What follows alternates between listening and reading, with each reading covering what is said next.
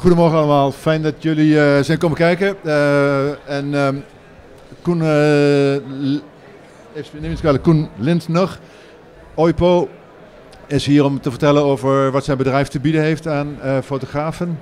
En hetzelfde geldt voor Robert Grovers. Govers. Van Govers. Govers. Govers. Van de jonge firma Hapix. Hapix.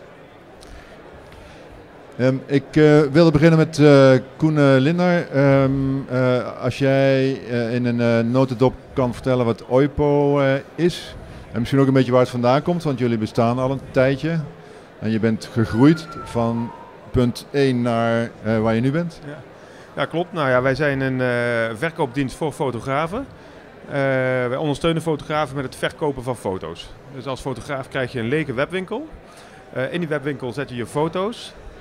Je bepaalt zelf wat voor soort uh, producten je wilt verkopen. Dat kunnen zijn uh, natuurlijk foto's en vergrotingen, maar ook muismatten, uh, canvasprints, nou verzin ze maar. En je bepaalt ook per product dat je wilt verkopen de verkoopprijs. Ehm, en daarmee bepaal je dus als fotograaf eigenlijk ook je winst. Je stuurt als fotograaf je klanten naar je winkel. Nog dichterbij? Ja. Uh, je stuurt als eh, fotograaf stuur je, je, uh, je klant naar je winkel en wij nemen, doen de rest. Dus wij nemen de bestellingen aan, wij zorgen voor de betaalsystemen, betalingsherinneringen, administratie, maar ook voor de productie en de verzending uh, van de bestelde foto's. En zelfs ook de after sales. Dus mocht een foto onverhoopt dubbelgevouwen door de brievenbus gaan, dan, uh, dan, communiceren wij met de klant dat het vervelend is en dat we snel opnieuw gaan uh, verzenden en produceren. En daardoor heb je als fotograaf meer tijd over om waar het echt om gaat. En dat is acquisitie en het fotograferen zelf natuurlijk. Uh, nou, dat, dat is in notendop wat we doen. Ja. Heb je speciale, want fotografie is breed, je, je, hebt allerlei soorten fotografen. Uh, heb, je, heb je specifieke doelgroepen binnen het geheel? Nou ja, de dienst werkt uh, verreweg het beste voor fotografen die de klant eigenlijk al voor hun lens hebben gehad. Dus als je probeert hele mooie natuurfoto's te verkopen, dan zal dat via OIPO lastig gaan. Uh, maar als je bijvoorbeeld aan de finish van een marathon staat en zo'n marathonloper heeft er weken voor getraind en komt op de finish, die foto maak je, is misschien fotografisch gezien niet de allermooiste foto, maar zeker wel wat waard voor die, voor die runner. Betaalt er misschien wel 15 euro voor. Nou, die afhandeling van al die nabestellingen, dat, uh, dat gaat heel handig via zo'n platform. Uh, maar dat geldt ook voor uh, schoolfoto's, evenementfoto's, ja, sportfoto's. Dus dat soort foto's verkopen eigenlijk het beste via OIPO. Ja. Hoe, um, hoe groot is die groep? Hoeveel, hoeveel mensen hebben jullie in je bestand? Hoeveel fotografen doen ja, mee? Ja, op dit moment zijn er uh, misschien, ja, ruim, misschien al ondertussen 19.000 fotografen in Nederland die een uh, account uh, met OIPO hebben. 19.000? 19.000. ongeveer de helft daarvan is actief. Maar dat is een, een, dynamische helft. Want er zijn de fotografen die zeg maar, nu wordt het weer mooi. Uh, de paarden gaan weer naar buiten, dan krijg je paardensport. En die hebben de afgelopen maanden wat minder gefotografeerd.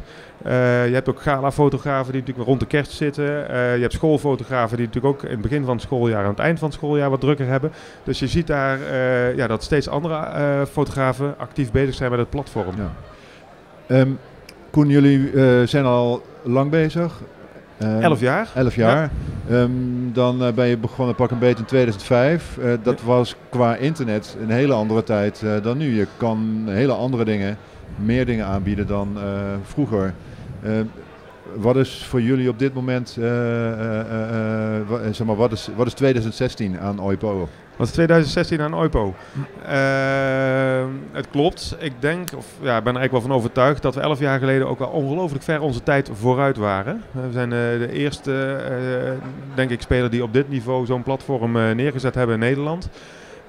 wat we nu zien is dat we, ja, de service is nu zo groot geworden. We, ja, we presenteren, schrik niet, ongeveer tussen de 200 en de 300 beelden per seconde. en dat doen we op een technologie die inderdaad uh, al tien jaar oud is. We zijn nu bezig om dat te migreren naar andere technologie. Daar heb je als fotograaf eigenlijk niet zoveel mee te maken. Maar waardoor die groei, want die we nog steeds meemaken, ook in de toekomst uh, ja, goed kunnen faciliteren. Zodat je ja, ook als we vijf jaar verder zijn met deze waanzinnige snelheden foto's kunt blijven presenteren aan de klanten van de fotograaf. Ja. Ja. Want als je het hebt inderdaad over een kleine 10.000 actieve uh, deelnemers aan jullie uh, uh, community. 19.000. 19. nou, je zei dat, dat de helft ongeveer oh, ja, actief, actief was. Ja, klopt. Vandaar duidelijk communiceren, dat is zo belangrijk. Um, over hoeveel opslag hebben we het dan? Want het- ik neem aan dat het bij jullie, dat hebben jullie in server staan of Ja, in een alles, cloud? in, alles in eh, eigen beheer. We hebben een eh, eigen serverpark, staat in Amsterdam. Eh, dat is door onszelf, de architectuur is door onszelf verzonnen, wordt door onszelf beheerd, wordt door zelf eh, ontwikkeld. Ja, eigenlijk doen we alles zelf. We doen de marketing zelf, we doen de teksten zelf, we doen alles zelf. Ik ben slecht in absolute cijfers, maar het is een ongelofelijke hoeveelheden terabytes. Ja. Het zijn ja, honderden terabytes en er komen er eh, maandelijks komen er weer disks bij. Dus eh, ja, ik ben niet de IT'er bij ons. Nee, maar, is- dat we een idee veel. hebben. Dat we een idee Ja, hebben, precies. Ja. Nee. Ja. Koen, dankjewel. Ik ga eens even eh, Ja. vragen aan je buurman die ehm, eh, de, eh, eh, kort geleden pas eh, begonnen is. eh, Robert Govers, Hepix. Ehm, wanneer, hoe, lang, hoe lang geleden ben je begonnen? Nou, eh OIPO is 11 jaar en wij zijn 11 weken. Zo. dat is begin dit jaar geweest. Ja, nee, 29 december gingen we live. Ehm, het concept, eh, daar heb ik overigens jaren aan gewerkt. Ik hoor, ja, natuurlijk. Ja, Ehm, en in juli eh, kwam ik eh, mijn huidige partner hierin tegen. In augustus kwam er een derde partner bij. En in september hebben we klap opgegeven, zijn we gaan bouwen. En 29 december gingen we live. En ehm, ja, wat het, het gaat wat als het, een speer. Ja, precies. Dat is wel leuk. En wat, is het plan? Wat, wat, eh, Nou, het plan eh, dat is eh, uitgebreid, maar de, de kern van wat we doen die is eigenlijk vrij eenvoudig. Er zijn heel erg veel fotografen die hele mooie beelden maken, die krijgen ze niet verkocht. En misschien krijgen ze, als ze de foto's hebben gemaakt hebben, bijvoorbeeld met OIPO, wel verkocht. Maar ze krijgen de opdrachten niet binnen. En aan die kant zitten wij. Dus wat OIPO als ware aan de achterkant doet, doen wij aan de voorkant. jullie helpen fotografen aan opdrachten. Ja, en dat doen we niet door een, een portal te zijn, want daar zijn er al te veel van. Dat doen we ook niet door een onoverzichtelijke portfolio te site te zijn, want daar zijn er ook een paar van en dat werkt niet. Op een hele open en eerlijke manier, waarin wij eh, een probleem oplossen. Want eh, fotografen, eh, die worden gezocht via Google. Precies. Ehm, Ja, stel dat ik een, eh, mijn broertje is vorig jaar getrouwd Ja. in, eh, in Heerlen. eh, eh, ehm, als ik hem zou willen helpen aan een fotograaf, zou ik zoeken Heerlen, bruidsfotograaf. Inderdaad. En dan heb ik iemand. Uit onderzoek blijkt dat iets van 85% van de mensen zoekt op de combinatie van plaatsnaam plus fotograaf of bedrijfsfotograaf of industriële fotograaf of trouwfotograaf. Dat is het. Ehm, heel veel fotografen die weten dat ook wel en die bouwen dat in hun website. Maar het, het, het bijzondere is, staan ze nog steeds drie hoog achter, omdat je gewoon niet de massa hebt om wel bovenaan te staan. En door het samen te brengen, wat wij doen, eh, is het niet meer dat je de moeite moet, hebben, moet willen nemen om bovenaan te staan. Nee, bij Hepix zit je met z'n allen op de eerste rij. Zo moet je het eigenlijk zien. Eigenlijk wat je op de meubelboulevard hebt, ik wil een bank hebben, ik loop een winkel in. En dan denk je van, nou, ik vind het wel mooi, maar ik denk nog even na. Ga je naar buiten. Als er dan geen andere bedrijven meer omheen zitten, dan ga je naar huis. Zitten er nog vier omheen, dan ga je vergelijken. Dan denk je, ja, ik neem lekker toch die eerste bank. Dat idee, het, zich, het elkaar versterken door massa te creëren, eh, ja, dat is een soort van vliegwiel wat elkaar versterkt. Ja. En dat is wat wij willen doen. Eh, als je het heel erg plat slaat, zijn we gewoon de funda van de fotografie. En omdat we van eerlijkheid houden, hebben we een gratis model gemaakt. Waar fotografen alleen maar betalen, en de 20% fee, ehm, uit de omzet die er ook daadwerkelijk uitkomt. Dus geen abonnementmodel, geen gedoe met eh, van allerlei verplichtingen. Het is gewoon heel simpel. Vrijheid, blijheid. Wij gaan jou helpen. Eh, jij maakt je profiel aan. Dat kost je een uur of zo. Eh, als je archief een beetje op orde hebt. En eh, door dat allemaal samen te brengen, krijg je die massa waarmee het kan. Hoe, hoe gaat het met die massa? Dat is misschien nog een beetje vroeg, na 11 weken. Nee, gaat om, goed. Wij, hadden, wij hadden gedacht van nou we doen de officiële introductie tijdens de PI. En er ging op een gegeven moment een mailinkje uit van de, van de PI van nou wij staan daar. Ja. En eh, hup, gelijk 30 aansluitingen. En eh, nou, dat ging snel. En we zitten nu tegen de 200 aan. Dus het gaat als speer. Ja. Ik wil, voor het eind van het jaar wil ik op 1000 tot 1500 zitten. Ja. Dat hebben we Ja. wel nodig. ja, precies. Je liet me dit kaartje daar straks Ja, dat is een zien. heatmap van twee weken geleden. Intussen is hij veel leuker geworden. Ja, is het, Ja. en het gaat om die gele of om die grijze, of om allebei? De gele, nou, ze allebei. Alleen de gele die staan aan de voorkant al live omdat ze hun account volledig hebben ingevuld. Mhm. En de grijze die hebben dat nog niet.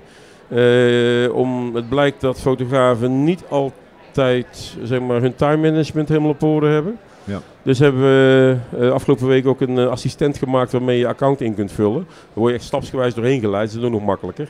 En sinds we dat gedaan hebben, zien we ook dat de accounts die live kunnen, omdat ze dus volledig zijn ingevuld, gaat ook snel omhoog nu. Ja. Dus het gaat goed. Het klinkt niet alsof jullie echte concurrenten zijn, uh, Koen. Nee, ik denk dat we elkaar zeker aanvullen. En afgezien het getal 11 als overeenkomst. Uh, dat is uit het zuiden, wat is uit het. Breda. Uh, is, het, uh, is de opzet van de dienst hetzelfde? Dat we allebei eigenlijk uh, samen met de fotograaf in hetzelfde schuitje willen zitten. Ehm, doordat het goed gaat met de fotograaf, gaat het goed met ons en gaat het goed met jullie. als wij onze dienst, of jullie jullie dienst, niet goed doen, wordt de fotograaf niet wijzer, maar worden we zelf ook niet wijzer. Dus wij zullen enorm ons best doen, en dat geldt ongetwijfeld ook voor Robert en zijn maten, om de fotograaf zo succesvol mogelijk te doen. Want daarmee ja, gaat, het, gaat het ook gewoon goed met, uh, met OIPO en Hapix.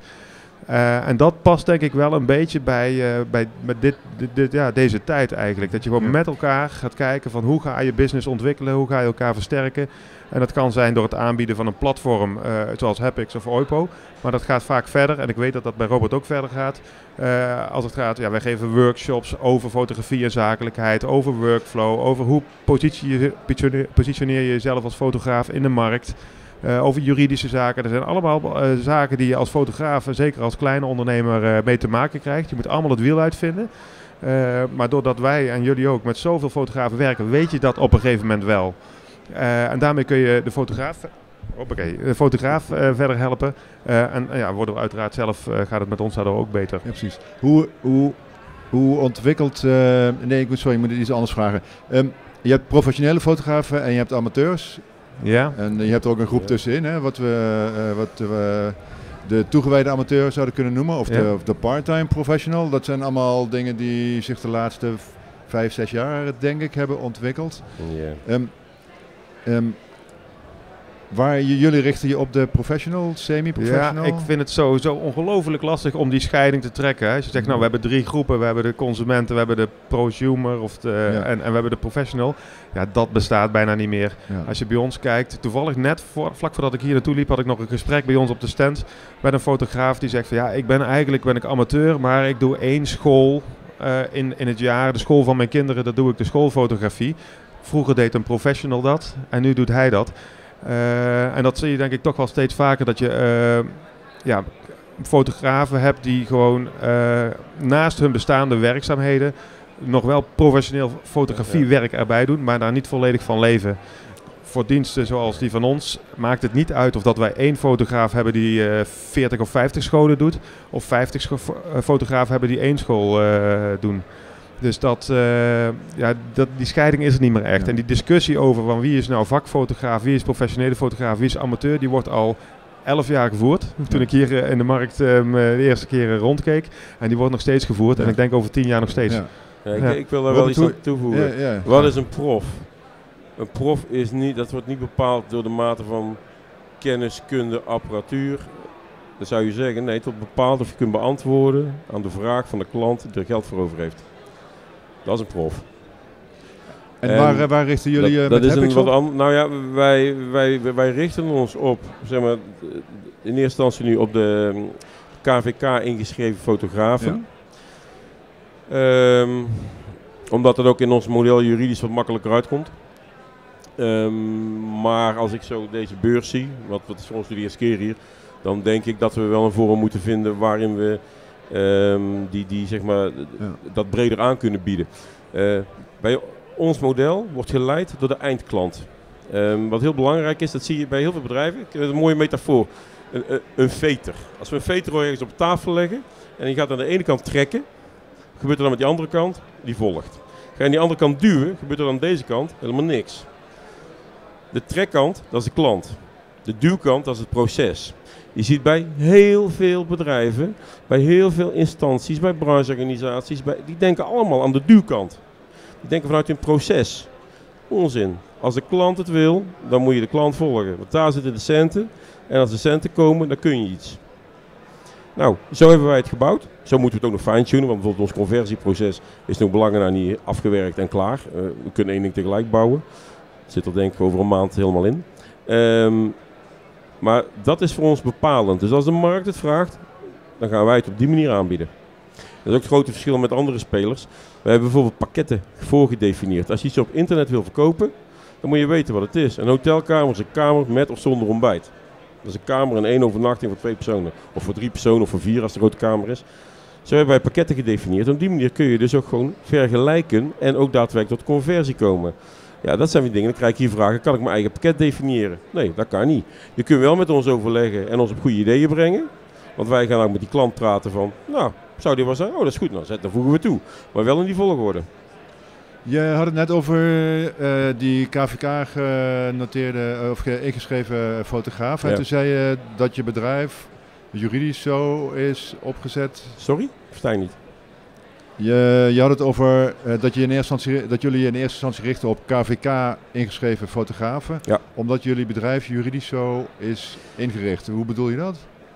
um, omdat dat belasten in eerste instantie belastingtechnisch en uh, in, in uh, richting arbeidsverhoudingen en dergelijke gelijk ja, duidelijk is. Je wil natuurlijk geen uh, verkapt loondienstverband en dat soort dingen. We zijn niks anders dan een platform. Als je het plat slaat, dan zijn we de funda. De funda van de fotografie. Je wilt buiten die VAR. en we willen buiten die valkuil blijven. En totdat we dat juridisch getackeld hebben, willen we dan uh, blijven daarbuiten. Het is overigens wel zo, wij houden van eerlijkheid. Als je naar onze pagina kijkt met afspraken, zijn 16 regeltjes en die zijn heel vriendelijk geformuleerd. Zo simpel is het. Want dat is wat een klant wil. Ja, tuurlijk. Ja. En uh, de, de, de, de uh, algemene voorwaarden van vijf pagina's die niemand leest met een hoop juridische nonsens. Heel simpel, is de klant niet tevreden? Doe je het opnieuw. Is de klant is nog niet tevreden? Geef ze geld terug. Met een bos bloemen. Klaar. Zo moet het hebben. En zo is Jumbo ook groot geworden. En zo doet Ikea het ook. Waarom doen wij het in de fotografie dan anders? Precies. Nee, nee, dan komen we met zo'n contract. Ja, auteurswet 1912, joh. Ja. Ik heb het niet over flagrante schendingen, hè? dat is wel anders. Maar ik heb het over geneuzel, over dingen waarvan een klant denkt, ja hallo, ja. wat wil een klant? Die wil openheid, duidelijkheid, transparantie en snel. Koop zelf een schoen op internet, kunt het niet vinden, dan zeg je klik in het kruisje, ga je naar een ander. Dat is bij fotografie niet anders. Zo is het. Um, we, zitten op een, uh, we zijn op een technische beurs. Koen, laat ik misschien bij jou even de vraag in eerste instantie deponeren. Uh, we merken dat uh, fotografie niet meer alleen maar een tweedimensionaal plaatje is in een kader. Um, het kader wordt groter, 360 graden. we gaan met helikopters, kleine hele, speelgoedhelikoptertjes, om het even zo onbeleefd te noemen, de lucht in. Um, de, we hebben video, virtual reality is in opkomst, 3D. Uh, er worden hier zelfs uh, foto's 3D uh, geprint. Ik hoorde al die, de opkomst van de schoolfotograaf die geen foto's meer levert, maar poppetjes als het ware. Ja. Waarin je met een beetje groei wil je kind kunt herkennen. Hoe zie jij die ontwikkelingen? Uh, die, die, die, houden wij nauwzettend in de gaten, uiteraard. We kijken ook naar de landen om ons heen. Zo zien we bijvoorbeeld in Duitsland dat Chroma-key, dus de groene schermen in de schoolfotografie, naar voren komen. In Nederland gebeurt dat nog bijna niet. Ik zeg ja, niet ja. niet, maar wel bijna niet. Ja. Um, nou, da daar, zijn we al, ja, daar zijn we inderdaad op dit moment aan het kijken van, kunnen we dat gaan stimuleren? Kunnen we daar een markt uh, ja, voorbeelden voor maken, pilots maken en dat aan onze fotografen laten zien. Van kijk, op deze manier zou je met deze dienst uh, uh, de, markt, de markt kunnen gaan. En dat geldt inderdaad nu ook bijvoorbeeld inderdaad voor 3D-fotografie. de 3D-scanners die maken een opmars. Dat zijn full body scanners of alleen maar gelaatsscanners. Uh, op dit moment nog erg uh, prijzig voor de consument om uiteindelijk uh, af te nemen. maar dat kan natuurlijk op hele korte termijn heel veel goedkoper gaan worden als er gewoon heel veel meer aanbod wordt, komt van machines. Nou, op dit moment kunnen de machines niet uitgeleverd worden. De vraag is veel groter dan de productie. maar binnen twee jaar tijd kan het wel eens omgekeerd zijn. nou ja, overal proberen we voorop ja. te lopen. En ook hier zijn we achter de schermen druk bezig met het aftasten ja. van ja, van systemen om schoolfotografen in dit geval uh, zo makkelijk mogelijk te maken om dit soort diensten aan te bieden. Want kinderen vinden het gewoon wel heel leuk om uh, FIFA voetbalgames uh, online te spelen met hun eigen figuur als, als poppetje. En dat, dat kan tegenwoordig, ja. ja, ja. Robert, is dat, is dat voor jullie interessant, die, al die nieuwe technische ontwikkelingen? Ja, sterker nog, ik ben in een vorige activiteit ben ik met 3D bezig geweest. Dus technisch weet ik daar heel veel van. Maar uh, ik heb het laten liggen om. Nou ja, dat, ik heb het laten liggen om een reden dat, dat er niet de waarde uit te halen was in grote hoeveelheid die ik vind dat belangrijk is om te kunnen opschalen. Kort door de bocht. Uh, ja, houden we in de gaten. Zeker. Uh, Het is wel zo dat in ons platform, wij hebben een visuele vergelijkingssite. Um, er zit een plaatje in jouw presentatie, daar kun je het enigszins zien. Maar eigenlijk hebben we het heel simpel opgebouwd. Je hebt een uh, kolom en dan uh, zet je in uh, op die datum wil ik een fotograaf hebben in die regio met zoveel jaar ervaring, zoveel reviews van boven de acht, binnen mijn prijsbudget van enzovoort enzovoort. En op basis daarvan ontstaat er uit, vanuit de database een, een veld met een heleboel foto's die eraan voldoen. En daarna wordt het gewoon net Tinder. Dan ga je gewoon like, dislike. En op basis daarvan ontstaat aan de rechterkant jouw uh, kolommetje met de top 5 die bij je past. Dan vind, zo, vind, zo wil een klant kiezen. En dan gaat hij dat namelijk gewoon, dan ja daar heb je hem. Ja, dan ga je like, dislike.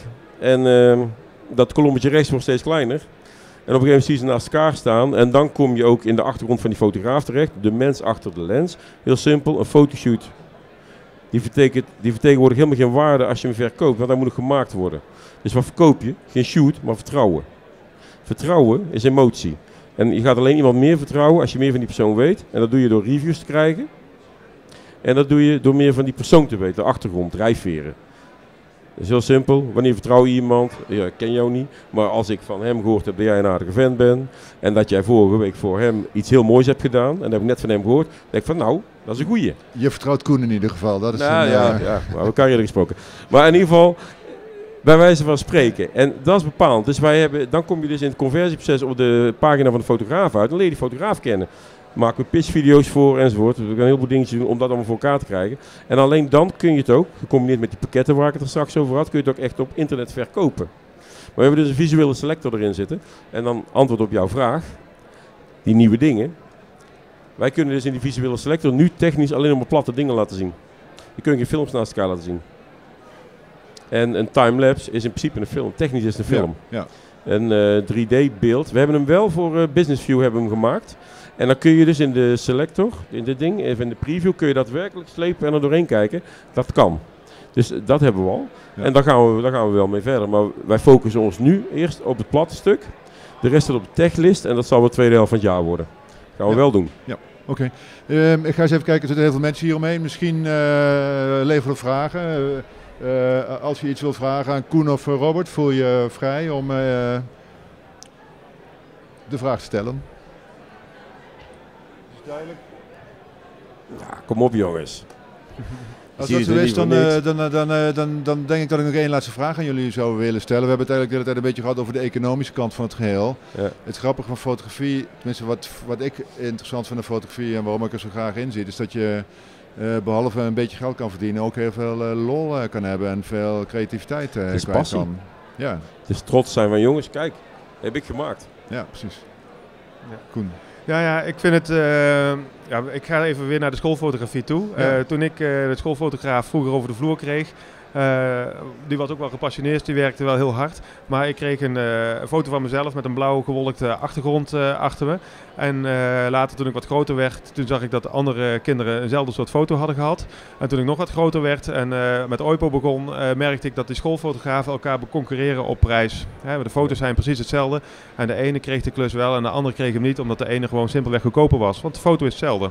Ja. Eh, nu, elf jaar later, eh, ook denk ik door, eh doordat OIPO is ontstaan en, en, en collega-ondernemers vergelijkbare diensten hebben aangeboden, is de markt van schoolfotografie, wat ja, zeg maar 10 jaar, 15 jaar geleden ongeveer het, nou ja, het laagste was in de, school, in de fotografie wat je Ja. kon doen, is ontwikkeld tot een tak waar A, nog geld verdienen is. Dat is toch even over het geld. Maar wat het eigenlijk nog veel leuker is, je kunt je nu als fotograaf onderscheiden van andere schoolfotografen op concept en op kwaliteit. Je kunt gewoon iets anders als fotograaf, een ander beeld eh, bedenken en daarmee naar de scholen gaan en daarmee kijken of je de klus kunt binnenhalen om, om op die manier, om- omdat je iets anders doet. Ik denk dat dat voor een fotograaf, eh, schoolfotografie, een stuk interessanter is geworden, eh, zeker ook op creatief vlak. En nou, dat lijkt mij een hele goede ontwikkeling. ja. Maar Ja, eh, Robert, je hebt nog een laatste opmerking. Ja, ja, ja zeker. Want de, wa- we hadden het net over waarde. Hè. Waar zit de waarde? Kijk, de waarde ehm, van bijvoorbeeld zo'n platform als OIPO, en dat bij ons geldt precies hetzelfde. Uit dat eh, onderzoek van DUFO blijkt dat eh, fotografen gemiddeld 25% van de tijd bezig zijn met fotografie. Ja, los, lo- van de tijd die ze aan hun fotografisch bedrijf besteden. 25% daadwerkelijk fotograferen. De passie, leuk, fijn, mooie dingen maken. 25 75% met het geneuzel eromheen. Ja, dat moest ook nog. Het is heel simpel. Met, met onze diensten kun je dat verhogen van 25 naar 50 procent. En misschien als we het goed doen wel naar 60 of 70. Dat betekent dat we dus waarde toevoegen. Want je gaat dus gewoon in dezelfde tijd gaat twee keer zoveel omzet draaien. Dat is één ding. Dan heb je nog het verschijnsel big data. Dat is van de toekomst. Maar ik heb daar, wij hebben dat wel in het concept zitten. Heel simpel. Wij weten straks, mensen zoeken op bepaalde data en voor bepaalde boekingen op andere data. De makkelijkste voorbeeld is zijn, laten we zeggen, de huwelijken op vrijdag in mei. Maar als je dat dus weet, dat betekent ook dat je een algoritme in kunt bouwen, waardoor prijzen voor die specifieke data verhoogd worden, zodat je kunt gaan optimaliseren voor de fotograaf. En dat is niet anders dan de stoeltjes van uh, KLM. Waar veel vraag is, bepaalde data, dan gebeurt er iets met die prijs. Je kunt ook iets inbouwen dat er een soort van last minute boeking enzovoort. Dat kunnen we nu nog niet, maar dat soort dingen waar wel onze techlijst staan, omdat we daar dus echt daadwerkelijk waarde toevoegen. Dan kun je gaan optimaliseren. En ja, zo hebben een enorme lijst hoor. Ja. Ehm, maar dat zijn dingen waar wij mee bezig zijn. Ja, dat is het mooie van deze tijd, dat al die dingen uh, kunnen of uh, binnenkort gaan kunnen. Ja, uh, het is, het is waarde toevoegen en bereik toevoegen. En dat is wat wij doen. Dus meer tijd voor je foto's, meer bereik, klanten die anders niet gehad had. En dat vind ik een belangrijk ding om te zeggen. Wij werken, wij, onze verdiensten komen, wij verdienen niet aan de fotograaf, maar aan de klant van de fotograaf. Want het zijn klanten die anders niet gehad hadden. Veel fotografen die hebben een soort kringetje en dan nog iets rond het kringetje, maar op een gegeven moment droogt de top. Op Epix heb je een podium en dan word je gezien. En heb je dus meer klanten die anders niet gehad had. Dus het is voor iedereen voordelig. Dat, dat is ons idee. Mooie afronding. Robert Govers, Hepix, dankjewel. Koen Linder, Oipo, hartstikke bedankt. Um, als jullie niet uh, zo naar de openbaar vragen willen stellen, jullie zijn vast nog even beschikbaar om één op één. Of bij jullie uh, stands. Dankjewel en uh, nog een goede dag. En jullie ook bedankt ja. voor de aandacht. Edi, bedankt.